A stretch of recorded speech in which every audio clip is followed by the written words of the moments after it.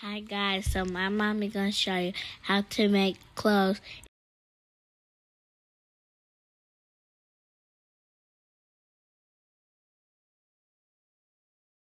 Guys, so today I'm going to show you how to make a pair of bell bottoms from scratch. The last video I did, we took a pair of jeans and we added the bell bottoms to the bottom of the jeans. We're not doing that this time. We're going to make a complete pair of bell bottoms using fabric. But we do still need the jeans to use as a pattern, unless you have a pattern already. So we're ready to cut our fabric now. I'm I have my jeans. I'm doing a size 2T. So grab your jeans. Make sure you have enough fabric. Toddler size, I have one yard, so one yard should be fine if you're doing the toddler size. If you're doing adults, get two yards, two to three yards just to be on the safe side. So we're gonna cut two pieces for the front and two pieces for the back. So what you would do is um, I'm folding my front clothes and make sure they match up which have your back crotch out so since the back is showing see the back pocket that means we're cutting the back. All, everything is lining up. And we're going to fold our fabric so that we can get two pieces. We're not cutting on the fold. We're just going to have two pieces when we cut. Let's make sure we have enough to fit our pants.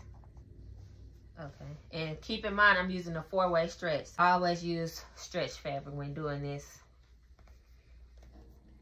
If you use non-stretch, then you will have to go based off the measurements to be precise. Or I have my fabric folded. And make sure you, when you have it on here, you have enough room on the side for seam allowance, which I do. I have my tape measure. So now what we need to do is find out where we want our bell bottom to start. It can start wherever you prefer it to start. I always do mine five to six inches from the hem. So what I do is fold that up.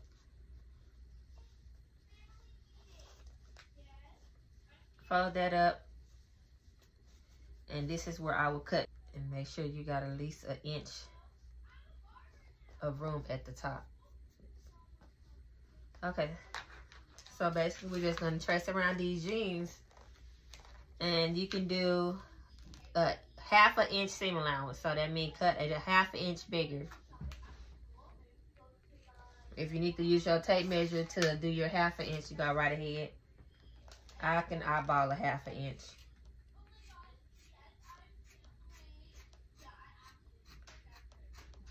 So just cut your back piece and cut it a half an inch all the way around, except when you get to the top. When we get to the top, we're gonna do a whole inch.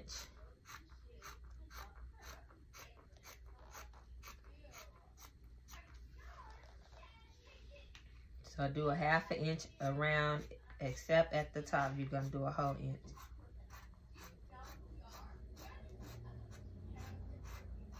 And this is for the back, we're cutting the back. So I'm doing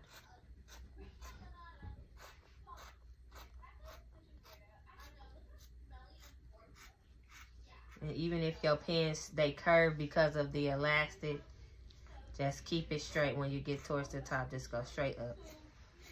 The elastic make it scrunch up if you have elastic, adjustable elastic waist. Okay. So I'm to start from that top. And I'm to do my one inch.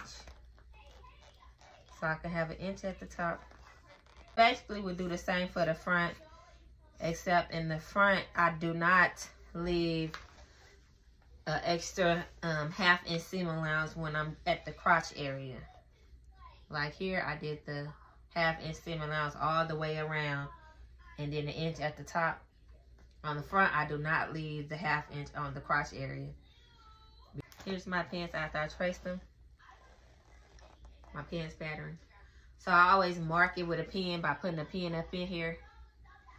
That way I would know that this is the bag because this once you cut it, it is easy to um, get the front and back confused, especially when you sew it. So I keep this pen in the back of mine until I'm sewing my tag up in the back. Now I'm going to do the same for the front. We're going to put the front on the outside. So now we have our front, pull out the crotch area. And this is the area I said I don't leave extra seam allowance on when I'm cutting around it. And you would cut it the exact same way, six inches from the hem or whatever length that you chose. I make sure I got at least an inch at the top. Okay, so start with our half an inch seam allowance going all the way around till we get to the top and the crotch area. Now, if you do do the half an inch seam allowance all the way around to the crotch area, it's okay. It's not a big deal. Sometimes it be saggy in the front. That's why I don't put the half an inch seam allowance at the crotch area in the front. You can do this with two-way stretch fabric too also. You just have to make sure that the stretch is going that way. So now I'm in my crotch. I'm going to cut it right at right by the jeans. I'm not leaving no extra. Again, if you leave extra, that's totally fine. Cut our um, inch at the top. And you actually could have folded it twice and cut cut everything. Because some people don't um, cut the front and back. They just cut one four times. Now that we have that cut, this is our front and this is our back.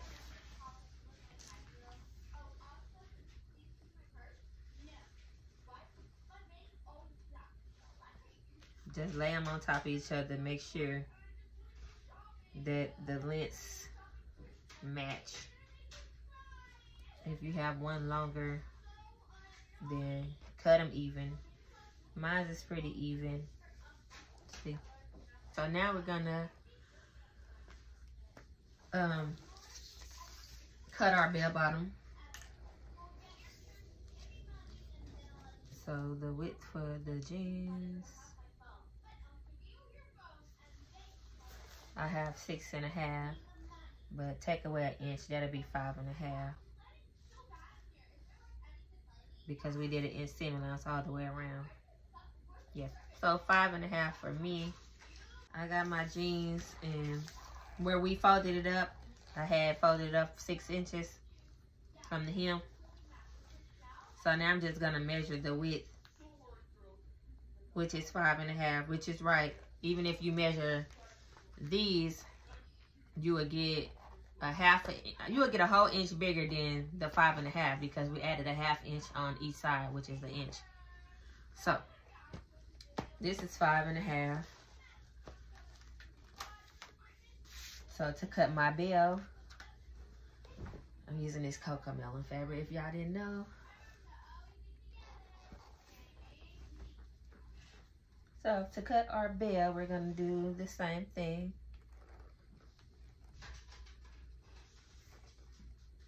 Fold our fabric one time. Then I got my fabric folded once. Then we're gonna fold it. Here's my fold. My fold is on that side. See? I'm folding it. then I'm gonna fold it down.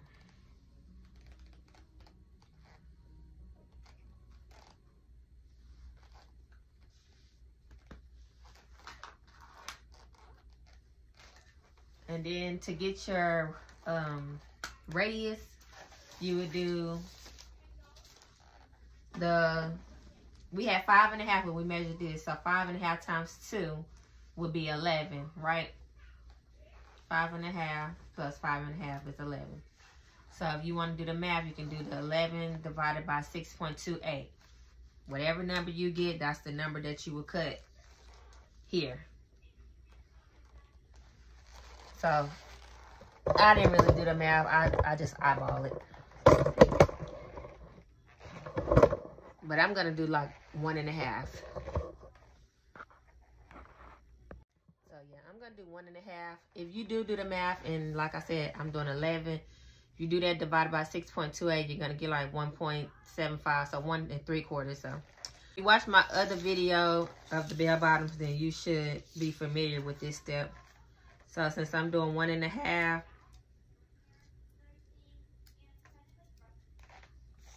that's what I will cut. So it'll be one and a half from this angle and go all the way around. But first you need to make sure that your fabric is long enough to accommodate for your bell bottom. We pulled this up six inches. So that means our bell bottom needs to be at least six inches. If you want them longer, you would add. I always add two inches to my bell bottom, which means they're going to be eight inches. So we need this fabric to be at least eight inches plus the one and a half, nine inches. So I'm gonna measure to see if this is at least nine inches on the fold, which it is. I at nine, I'm at 11 and a half, and on this side it reaches 11 to 12. So I have enough. I'm gonna cut my inner circle, which I was doing one and a half. So you would start at the corner, go down one and a half, and then just work your way around using that corner point.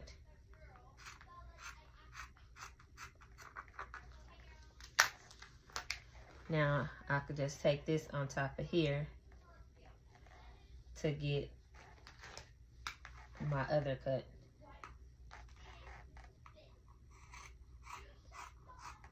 By tracing it.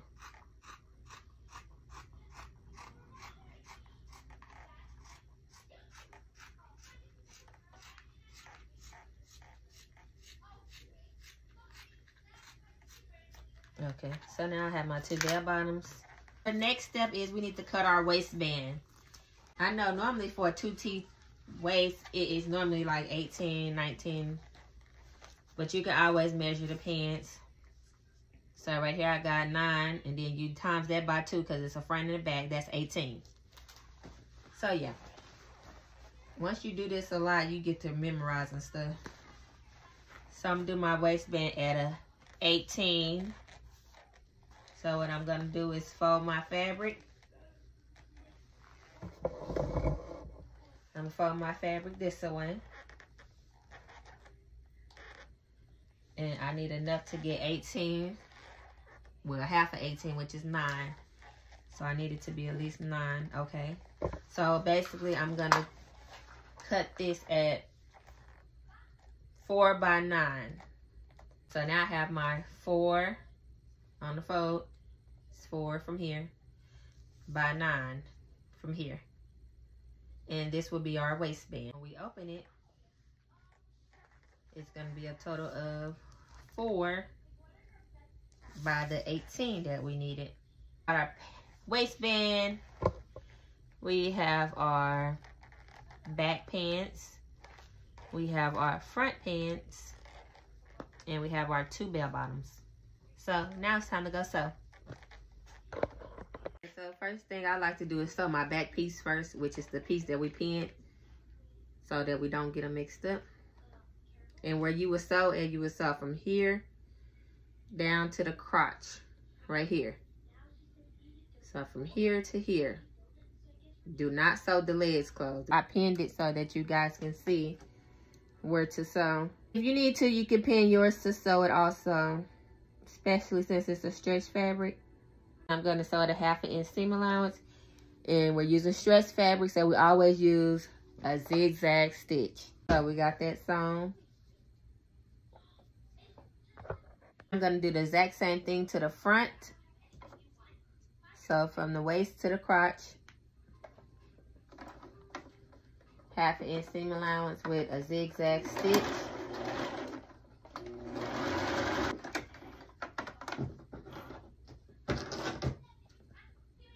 Should have both of our pants pieces starting to look like pants. That's one piece. And here's my back. And I still have my pins in my back so that I don't get them mixed up. And that's another piece. Okay, so next what you would do is you have your front and your back pair of pants sewn. So you would go ahead and serge the seam allowance so that you can have a clean finish. I have a serger, but I'm not going to use my serger at the moment. So when I don't use my serger, I use my pinking shears for a clean finish. So I'm basically just going to trim some of that seam allowance down. You can get these pinking shears at Walmart, Hobby Lobby, Joann's, or really any craft store. And these also help when you're cutting stuff to keep it from fraying. So I'm going to do that to both of my seam allowance that I just sewn.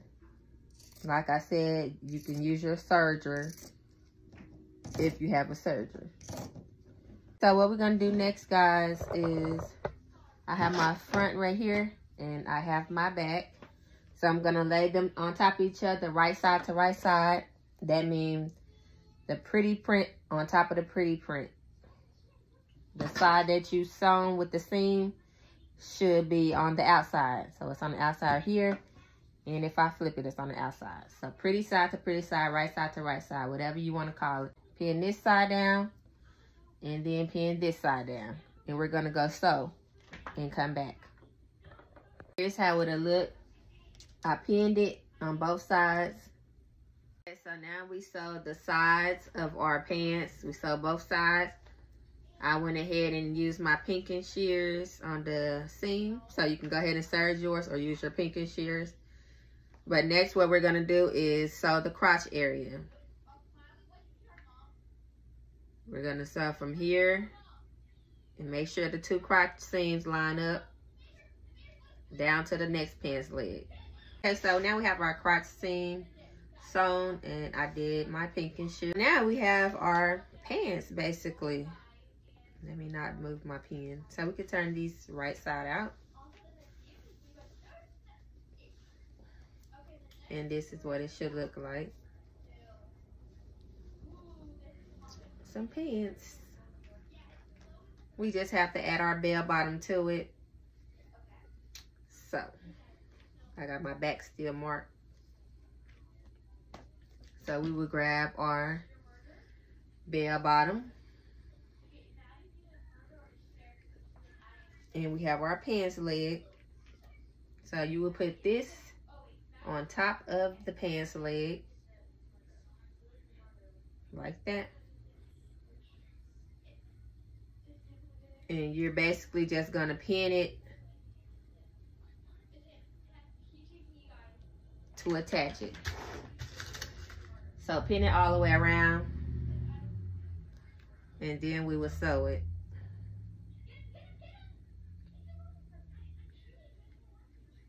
I'm to pin mine and then I will return. Hey guys, so I'm back. I just finished pinning my second one.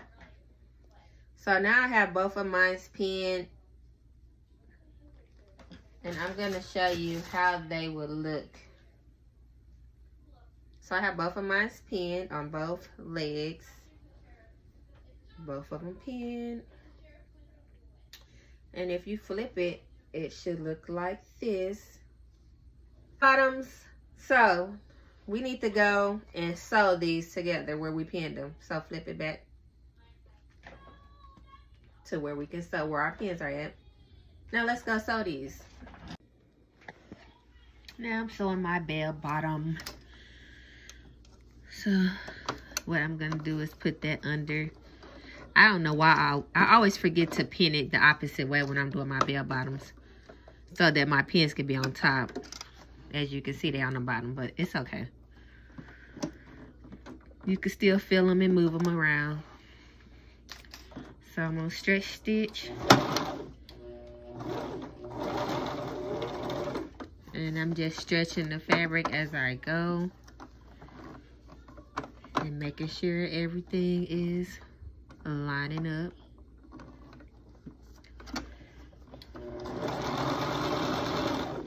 and grab that pin. When you see you getting closer to a pin, just grab it. Or you can always repin it and put the pins on the other side to make it easier for you. I don't feel like doing all that, so I'm gonna go with the flow.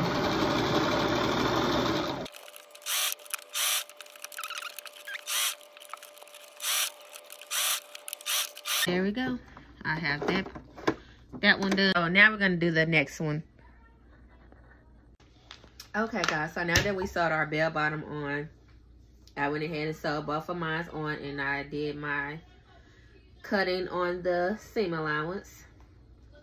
So now you should have this. Next, we're gonna do our waistband. And I still have my back mark your waistband. Here's mine. And you're going to fold it in half.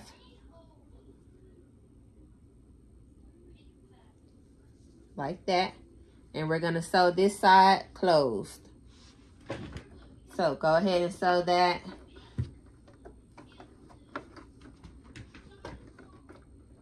Half inch seam allowance stretch stitch.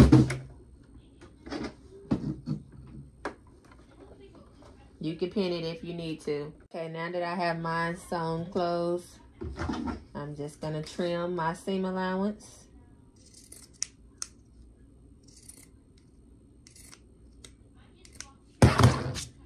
And then what you're going to do is fold it. Fold it down the opposite way. So line up the seams.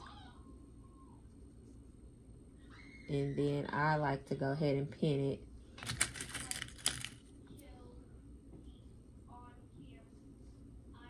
So we would do that all the way around. After I pin my waistband, this is how it look.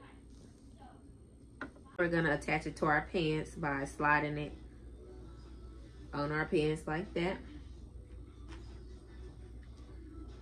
And I always line up that seam the seam from the waistband where we sewed the clothes, you should have a seam. I line that up with the back seam, the seam that's in the back of the pants. Once we do that and we sew it, then you will know your front from back.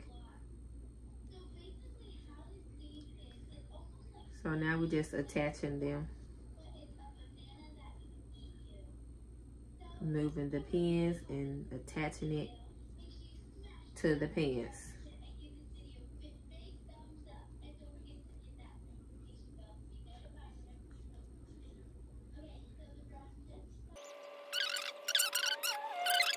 Okay, so I have my waistband pinned all the way around. So let's go sew. Move the pins as you go.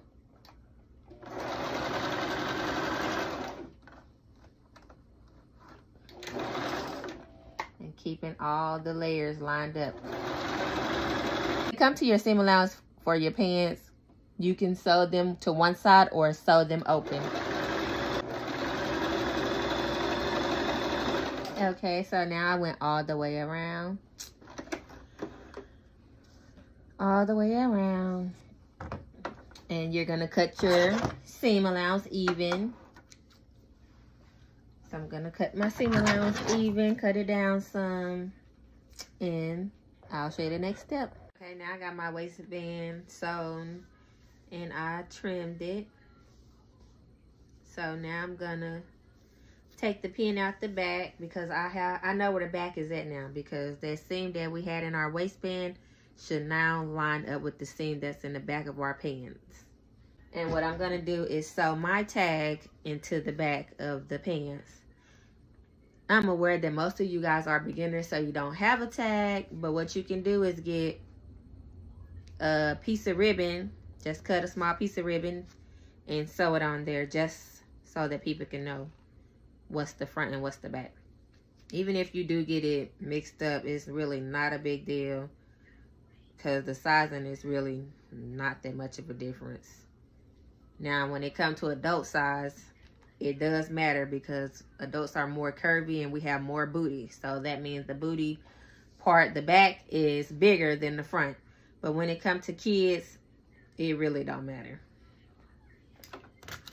So I'm just gonna pin my um pin my label up in here. And I'll show you guys the next step. Okay, so I have my tag sewn in. As you can see, Deja Rose. And our bell bottom is looking like this.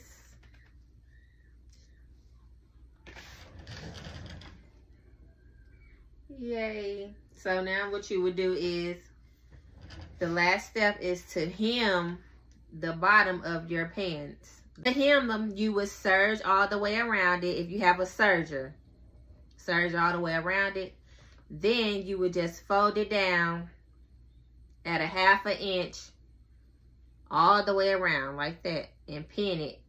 Once you fold it all the way, fold it at a half an inch and go all the way around, you would just stitch it all the way around.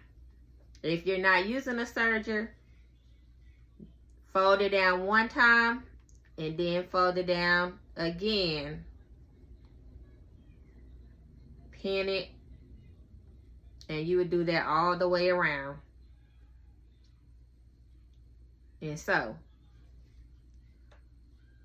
that way the raw edge doesn't show.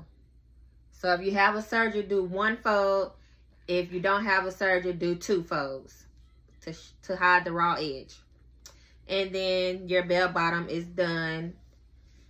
If you're still confused on hemming, check out my other bell bottom um, tutorial. And I think I show exactly how to do it on there. Thanks for watching.